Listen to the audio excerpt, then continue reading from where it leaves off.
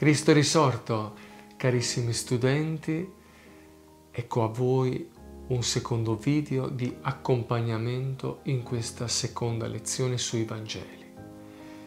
Vorrei prendere la parte che parla di come sono stati scritti i Vangeli e del loro processo, di come sono giunti a noi.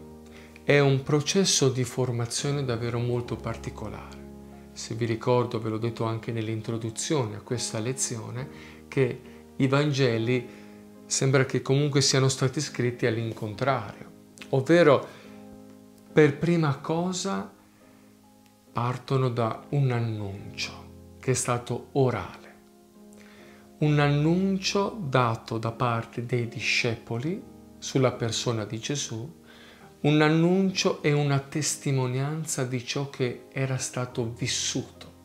Quindi è un vissuto esperienziale che viene donato a tutti coloro che non avevano incontrato Gesù. Ecco qual è l'essenza del Vangelo, l'essenza dei Vangeli. Quanto è importante per noi entrare quindi in questa non solo lezione, ma in questo ambito e contesto della formazione dei Vangeli, scoprendo che per prima cosa c'è stato un annuncio, una testimonianza di un fatto, di una persona, che è Gesù, che è vissuto, ha parlato, ha compiuto dei gesti, dei miracoli, ma soprattutto ha sofferto per noi, è morto per noi, è risorto per noi. Tutto questo, in particolar modo la passione, la morte e la risurrezione, si chiama Kerigma, ovvero il primo annuncio dato dai discepoli alle persone che incontravano, che evangelizzavano. Così è, è nato il processo di formazione dei Vangeli. Lo vedete appunto nella, nel quinto paragrafo di questa seconda lezione, queste quattro tappe, da quella storica, quella di predicazione orale, la tappa scritta e la tappa redazionale.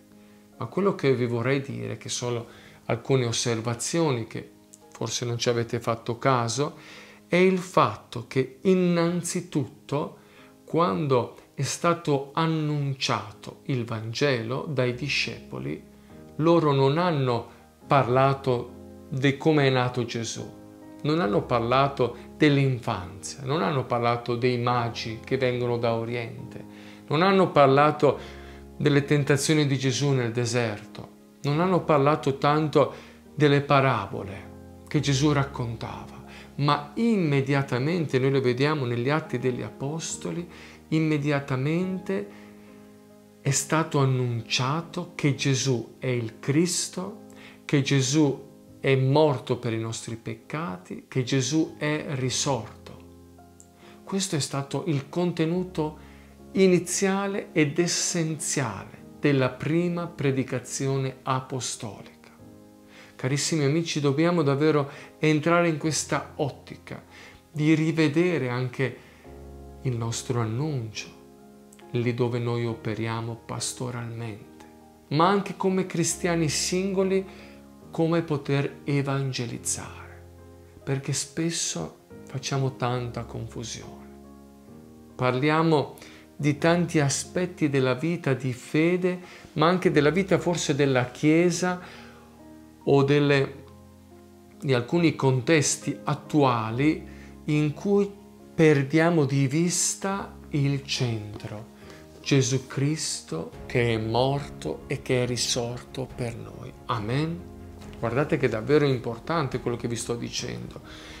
Nel modo in cui i Vangeli si sono formati in queste tappe, noi riconosciamo a quale essenzialità come cristiani dobbiamo vivere e dobbiamo andare. Amen ma soprattutto a quale essenzialità siamo chiamati nella evangelizzazione, nella predicazione. Quando facciamo un piano pastorale partiamo dalla passione, morte e risurrezione di Gesù. Attenzione, ho detto passione, morte e risurrezione. Non ho detto passione e morte, perché spesso esistono nella Chiesa delle correnti spiritualità che si fermano al crocifisso, alla morte e la risurrezione che non si vede, ma questo è un affare, sembra escatologico, dell'aldilà di quando tutti saremo in cielo. No, ciò che rimane è il Cristo risorto, che è vivo e che è in mezzo a noi. Ecco allora che i Vangeli e la formazione dei Vangeli ci insegnano che noi quando evangelizziamo, quando testimoniamo agli altri, alle persone, agli amici, ai nostri parenti, alle persone con cui lavoriamo, ma anche quando condividiamo tra di noi la vita di fede, dobbiamo avere sempre lo sguardo fisso su ciò che Gesù ha fatto per noi. Questo è il kerigma, questa è la fede cristiana. Quante volte invece magari pensiamo magari a ciò che avrebbero potuto dirci i Vangeli apocrifi sull'infanzia di Gesù, come ha vissuto la sua giovinezza, come era in casa con Maria, sua madre, con Giuseppe quando faceva il falegname, chissà Gesù quale statua scolpiva, quale tavolo fabbricava, quale sedie. Guardate davvero, siamo molto curiosi e spesso la curiosità ci porta ad aspetti che sono superficiali e non sono essenziali. Il Vangelo e la formazione del Vangelo stesso ci insegna quindi che il centro nella nostra vita deve essere Cristo morto per me, per noi. Cristo risorto per me, per noi. Amen. Questo è stato il primo annuncio quante volte lo leggiamo negli Atti degli Apostoli, proprio Pietro e gli altri discepoli annunciano il buon Vangelo, la buona notizia, dicendo sappia tutta la casa di Israele che Dio ha costituito Signore Cristo, quel Gesù che voi avete crocifisso. Viene annunciato che Gesù è il Cristo, che Gesù è il Salvatore noi potremmo dire che Gesù è la soluzione, che Gesù è la via, che Gesù è la risposta alle nostre domande. Guardate che il Vangelo ci insegna ad essere cherigmatici e studiare la scuola biblica, anche questa lezione, ci insegna che l'inizio di come si è formato il Vangelo è una predicazione orale ma soprattutto è stata centrata sulla passione, ripeto, morte e risurrezione di Gesù. Questo è l'evento fondamentale. Poi sono venuti i fatti e le parole di Gesù. Poi sono venute tutte le altre situazioni di predicazione, i discorsi, le parabole, i miracoli, i diversi fatti della vita di Gesù, addirittura l'infanzia, la nascita, tante altre situazioni che girano attorno a Gesù stesso, ma il centro ce l'ha la passione, la morte e la risurrezione di Gesù. Non distogliamo il nostro sguardo, fratelli e sorelle. Cerchiamo, come studenti di questa bellissima scuola biblica, cerchiamo di fissare lo sguardo su di Lui mettere al centro della nostra vita cristiana quello che ha fatto per noi. Questo è il kerigma. Non lo sapevamo prima di fare questa scuola biblica, ma adesso che lo abbiamo studiato e lo state leggendo, forse avete, di, avete detto, ma un po' particolare, si inizia dalla passione, la morte, poi i fatti, poi alla fine altre cose, addirittura verso la fine sono stati descritti i discorsi e le parabole di Gesù. E innanzitutto bisogna anche dire che ci sono state delle finalità diverse di ogni Vangelo e nelle prossime lezioni lo scopriremo, una cosa davvero bella, entusiasmante, perché queste comunità che sono gli evangelisti, Matteo, Marco, Luca e Giovanni, hanno avuto dei destinatari precisi, hanno avuto quindi delle finalità, far comprendere a queste persone che Gesù è il Cristo, che Gesù è il Messia, che Gesù è la risposta. Ecco, questo video è per farvi comprendere, carissimi amici, studenti, studentesse della scuola biblica, che il Vangelo è la persona di Gesù e noi lo possiamo incontrare. Questa è la predicazione negli atti degli Apostoli. Pietro quando si alza in piedi durante la Pentecoste dicendo noi vi annunciamo colui che voi avete ucciso, colui che è morto per i nostri peccati e che è risorto. Io voglio e vorrei che questa scuola biblica fosse una scuola di vita per voi, carissimi studenti, e che noi incontriamo Cristo attraverso anche la formazione dei Vangeli e sapere che le, le, cose più importanti sono quelle che riguardano la passione, la morte e la risurrezione di Gesù. E la cosa che resta, mi azzardo a dire, è la risurrezione, è la presenza di Gesù. Anche se per noi cristiani l'emblema è il crocifisso, ma la realtà che rimane è che Cristo è risorto. Per questo è il saluto dei primi cristiani, è il saluto anche della nostra comunità ed è il saluto come io ogni volta che accedo e vi mando qualche video, vi dono, vi offro. Christos aneste, Cristo è risorto. Quindi non perdiamoci nella nostra vita di fede su tante altre discussioni teologiche.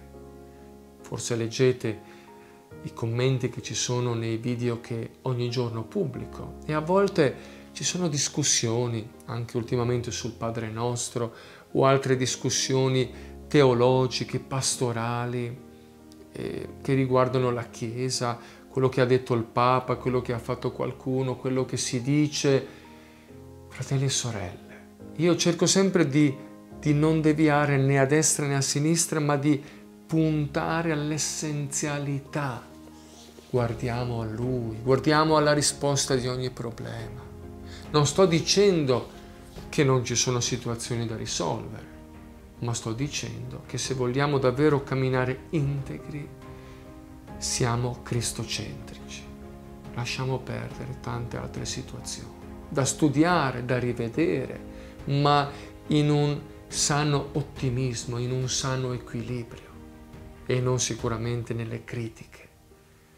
I primi apostoli, i primi discepoli, Pietro, Cefa, l'apostolo per eccellenza, San Paolo quando annuncia la buona notizia di Gesù, vanno diritti al fatto che Cristo è il Signore, Cristo è risorto, Cristo è il vivente, Cristo è morto per i nostri peccati.